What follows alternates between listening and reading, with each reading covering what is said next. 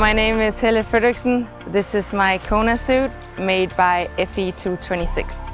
I'm pretty excited with it. It's completely custom made for me, how I wanted it and what I wish to have in this suit for this special race. Firstly, I love these colors, but also they are light and getting more and more white up towards the torso where you really feel the heat.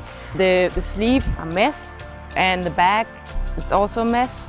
So therefore I can like get all the heat out um, and hopefully get the cooling a bit better.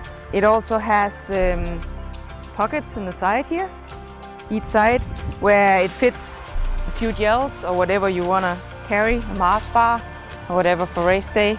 And there's also a pocket on the back which can also carry a, a bit of items, whatever you need to, to bring out there. This is the one I'm gonna do my first Ironman here in Hawaii.